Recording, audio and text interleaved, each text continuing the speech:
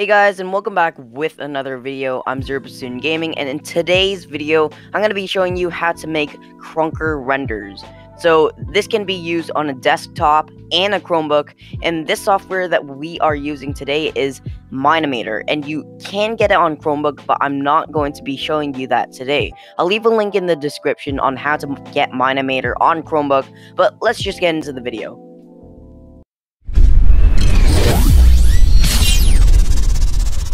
Now once you have downloaded Mine-imator, what you're going to do is you're going to create a new project, and I'm just going to name it ZBG Montage, uh, just for fun, and you're just going to hit create, and this is your terrain. It's kind of like a Minecraft theme.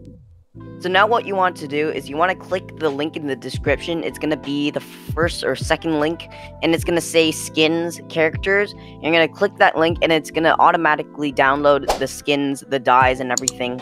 Um and then what you you're gonna do, it's gonna be a zip file. You're gonna open it.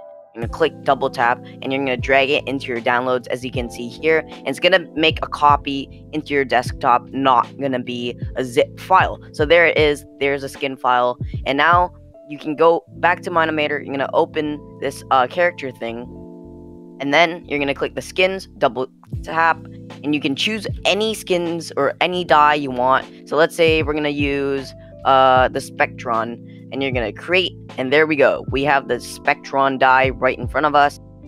Alright, so see how you can move around the arms, bend it in certain directions, and those circles is how you can move the arms. So now what we're going to be doing is we're going to be getting a weapon. So you're going to go into Krunker Texture Viewer, um, another link in the description, and I'm picking this Izula sniper, I believe. So now take off screenshot gradient and just take a screenshot of it. It's gonna be there, uh, and then I'm just gonna name it uh, sniper image, and it's gonna be downloaded, and you're gonna import it into Mine-imator now. Okay, so now when you have downloaded the sniper image, you're gonna go back into Mine-imator. You're gonna hit the sword. You're gonna hit browse, and you're gonna find that sniper image so you're gonna go back into downloads, I believe, and you're gonna hit. You see right there, sniper image. You're gonna hit open and turn off item is sheet. Okay, and it takes a bit of time. So yeah.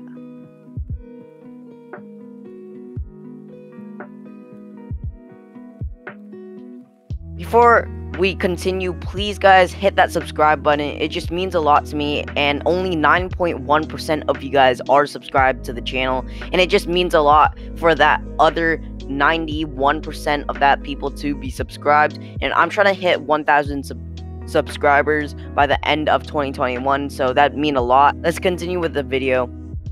So now you're just going to hit create and it's going to take a bit of time And there we go. Boom. So we have the sniper image right over there. And we need to we need to make it up to size because it's not really that small. So right there, um, as you can see by scale, we're going to put it by 2. And then we're just going to drag it inward. And yeah. So I'm just going to cut to a time lapse of me actually making this. Uh, as you can see, I'm just moving it around to make it look nice.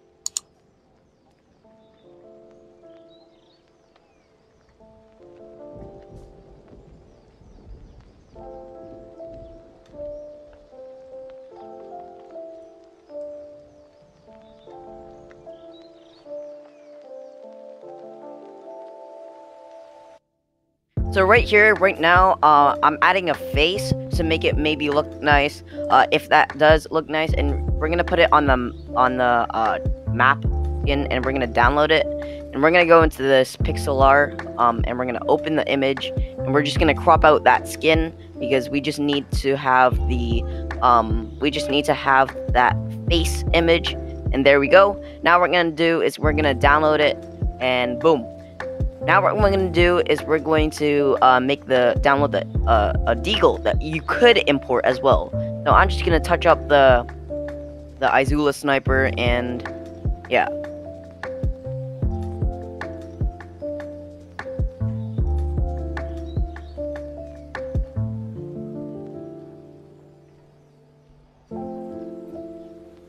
So now uh, import the pure face and we're gonna uh, put it onto the scale of the face and we're gonna make the parent of the face as the head so that it'll move around.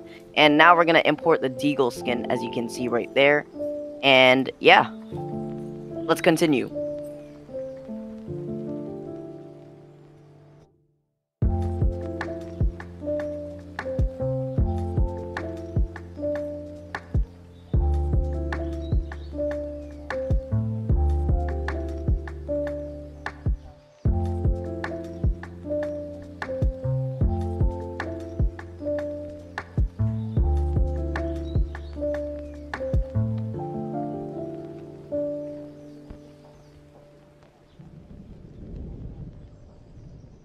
Now what we're doing here is we can make the time or make the sky or the the weather or something to make it time to make it darker, the contrast.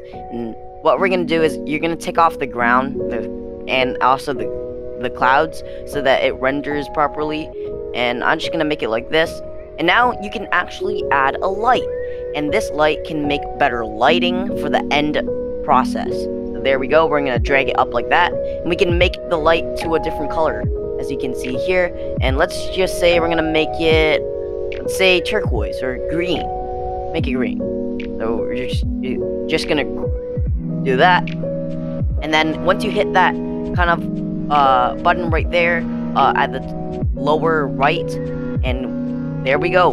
Look at that. We can make it look like it's green or if it, it, even looks like it um you could use that green kind of type on citadel. So like if the background is um citadel then you can have a kind of green kind of type.